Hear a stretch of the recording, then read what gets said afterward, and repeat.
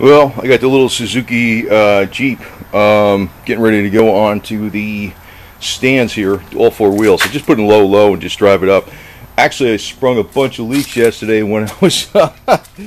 I drove it about 150 miles, 120 miles, or something like 120, I think. Um, and nothing was leaking before that except a slight amount in the front pinion seal. But you know, I don't put it in four-wheel drive. Uh, I think it's the rear seals leaking, the, the transfer case is leaking, even though those are rebuilt. Um, transmissions le leaking, and the seals by the drive shaft. I think the reason is because uh, it was sitting a while, and maybe if I move it back and forth, you know, that's like a little bit. But what happens as you use it, there might be a slight amount of rust on the flange, and that causes seal leak. Which you could just other tricks I could talk about real quick, but I'm going to show you what it looks like, but I'm also going to show, tell you, like, if you don't want to change these parts, there's stuff you could probably do. There's a certain additive you could put in them that might work, but I got the parts on the way. I'm going to be changing uh, both pinion seals, the three seals on it on the transfer case, and just the one seal on the back of the transmission because the front seal on the transmission was, you know, is locked up is to the bell housing, and no weather could have got there where you know it could have got rusty by the flange. So, and I mean it'd be minor surface rust. So let's get this up on here. We'll see what it looks like underneath there. Well, it's up there. It's pretty simple to drive it up on these things, man. These are Rhino. Uh, what the hell these things are? Rhino something or other ramps. Rhino ramps. So they give you about six inches. It also gives me an idea if I did a two-inch body lift and a four-inch suspension lift man, that'd be up there. Actually, a two-inch body lift and a two-inch suspension lift. That would really bring it up a lot. I don't know if I'm going to do that though. Not uh, really. More like into stock because every time you change something on a Samurai and you move up, it's like you got another weak point, and then you got another weak point, then you got another weak point, and pretty soon you don't have a Samurai in the first place. The whole idea is it's supposed to be real lightweight and small, and it can go into little tight places it can't and floats over things. And actually, I just want to mention it here. The easiest way to actually get through a lot of stuff with this, I keep a tire pump in here and a gauge. Just air down your tires about 10, 12 pounds. That's the simplest thing in the world. That usually works, especially with this thing. It floats. It floats over sand and mud and shit. You just air them down, man. It goes. anyway, we'll see what's under there. Well, you can see the rear pinion seal is leaking. It wasn't before. So we're going to be changing that. Actually, we're going to put in a locker in here anyway. Uh, the back of the transfer case is leaking right here. Uh, the front isn't. Actually, I got all three seals coming now. And da, da, da, you look at this back of the train. See, it's wet right there. The back of the transmission is leaking too. So, uh, anyway, we're going to change out all these seals and uh, check the fluid level and everything uh, and see how low we are. But uh, I know it was full. and I've been using this. You can see how much, you see the muffler? See how much is spinning off the back of the uh, pinion seal? I know the front pinion seal was leaking a little bit too, but I ain't really been using it in a four-wheel drive, so I didn't care about that right away. But uh, we'll be changing the front and rear pinion seal. This this seal probably not. Uh, just a I got all three seals for this trans. This is a rebuilt transfer case, so it's not like uh, you know. I'll probably leave this seal alone here for now. See how that one is, and uh, just change the rear seal. But I got all three seals for the uh, transfer case. You got the transmission, the two pinions, and the rear seal on a transfer case. We'll see if this one's good, but this one looks okay. But this has been rebuilt by AAMCO, so but back in the 90s with low mileage, but it's been sitting a long time, so I know the bearings and stuff are good in it, you know. So anyway, we'll be changing that out and we'll see how low and fluid we are. But uh, that's that's what happens when you let it something sit a while you go to use it. Oh yeah, I'm going to tell you something additive that you can put in there. That'll probably work on this crap, although I'm not going to use this additive. Um, but you know, if you're in a situation where you're not going to be changing these seals out, or you can't, this additive might work. It's not really sold too many places. I'll show you what it is.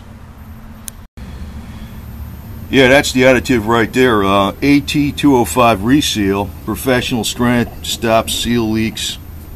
And this is not a commercial, but I'm just telling you, um, power steering, rack and pinion, transmission seals, crank main seals. I don't know, freaking name it, man. So,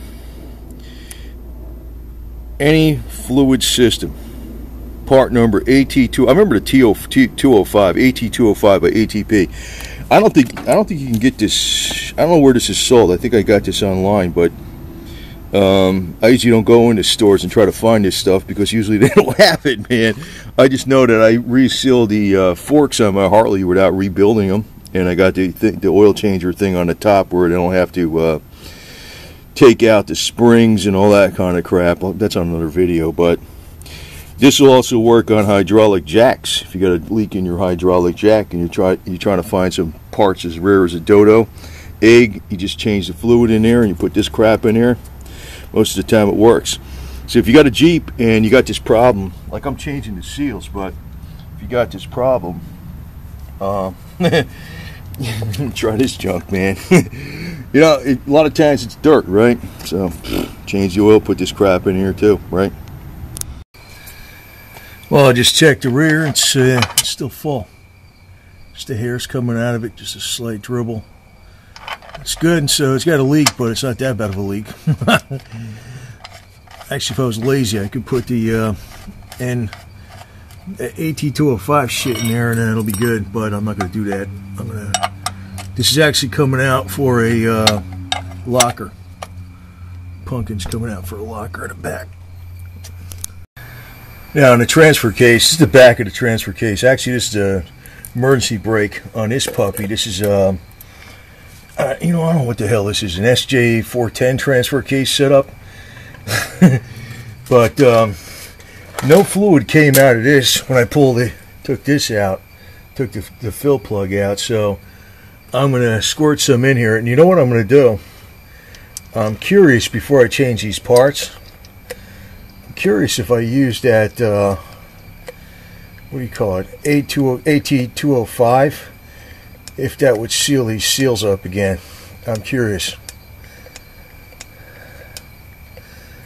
This thing might have lost some fluid, man. Well, it did lose some.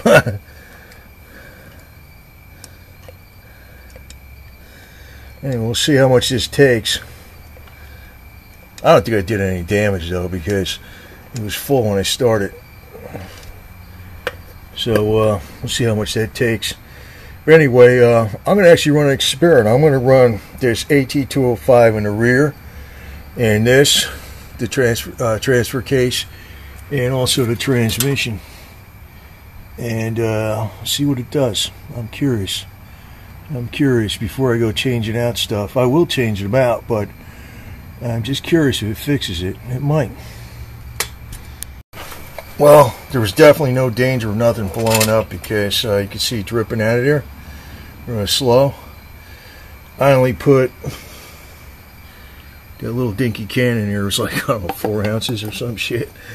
So uh, you know, if you don't look like a lot of oil, not much really came out. So no bearings got screwed up. These are all new bearings. So I'm going to try that stuff though. I'm curious if it's going to help it out. So, and uh, feeling the transmission's probably almost full.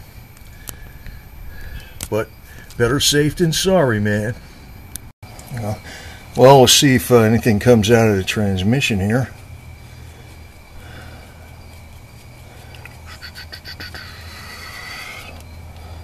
I know it leaked. See. Well, I don't mean it's dry. I mean, it might be down a hair, but it's down a little bit, so we'll put some in here.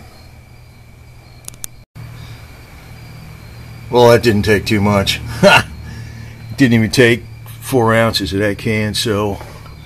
Okay, so, uh, anyway, wasn't really a major, major problem, so that was like... Uh, mainly, mainly during that 120 mile trip, this thing was leaking, so... Uh, I'm probably just to, since this is a rebuilt transmission and a rebuilt uh, transfer case a while ago, but very low mileage on it. Um, the seals are new. They've probably just been sitting there a while, and they probably got in one position a while. That's probably why they're leaking a little bit. They're not really probably worn, and they're probably not really dried out. They just probably just because they've been sitting in one position a while. Uh, I'm going to try that. I'm going to try that uh, AT205 for the trans and the uh, uh, what do you call it? The diff- the uh, transfer case, but in the differential, that's the original seal. So I'm going to change that, and I'm not even sure about changing the front one. It's got so little. I'm to I'm to try. I'm to try it out see how that shit works. If it if it totally eliminates the leak, I'm not going to freaking change the seal. If it totally eliminates the leak, if there's a slight leak, I'll change it, but I'll keep them seals on hand. So this was not as bad a deal as I thought. So we shall see how this works out.